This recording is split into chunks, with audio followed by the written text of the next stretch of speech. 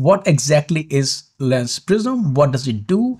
And how does it help Kubernetes users who are dealing with a lot of complexity?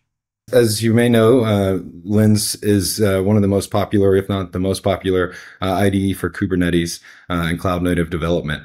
Um, with that, we provide um, essentially contextual awareness um, uh, to your clusters, uh, visi- visibility to um, logs, reporting, et cetera, in a very user friendly and beautiful UI. so taking you from essentially command line and terminal uh, into something that's graphically easy to understand. Uh, again, reducing the complexity, uh, especially when dealing with complex infrastructure. How it's further complement what Lens IDE already does. Right. So, so just quickly, what what Lens Prism is is our, as you said, our uh, essentially AI assistant inside of Lens. Uh, and as in following with kind of Lens value proposition and really vision uh, of reducing complexity, um, we looked at solutions and ways to um, really fight through the noise and give actionable data and insights to developers. And so when we looked at um, different ways of implementing AI solutions, we found that um, putting this putting this uh, at the fingertips of developers um, takes it beyond uh, just entering commands to make fixes, but gives you actionable insights uh, and has lets you have essentially conversations with this AI agent um, or AI uh, assistant.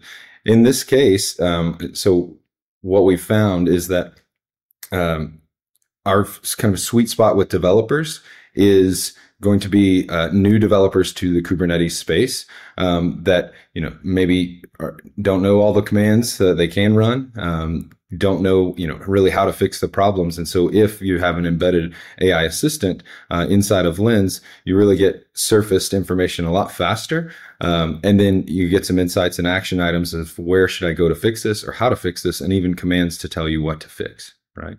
Can you also talk about what else is new in this release?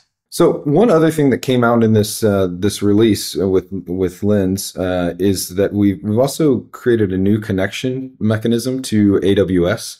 Uh, so EKS clusters, um, you know, as as we've seen, there's a lot of complexity, and again, back to our value proposition of simplifying um, the complex. Um, the the traditional method is you know going and getting kubeconfig file. Uh, a lot of times that requires some some effort from the developer right? Um, and so what we've done is uh, created a connection with aws allowing users to go in and sign in single sign on uh, and whatever is in their profile. So any number of clusters that are in their profile are automatically in input into lens um, so while it's you know just a, a technical kind of connection, uh, we expect that to also grow uh, in our ability to connect to other things inside of AWS infrastructure, for example. Um, and we also expect to, to, expand this to other cloud providers. Um, but the nice thing about it is so as a cluster is removed from your um, your profile in AWS, for example, uh, due to permissions, what have you, some tech policy change in departments, any of that, um, the cluster is also removed from visibility inside of Lens. And so it's, it stays up to date. Um, and as clusters are added, they are into your AWS profile. They're also added into, uh, into Lens. And so with that, you have up to date cluster information have a simplified, you know, connection time. And then you have this AI assistant on top of this that connects and can go in and find out all the information uh, for you about what's going on what's happening uh, to find greater efficiencies in your in your infrastructure.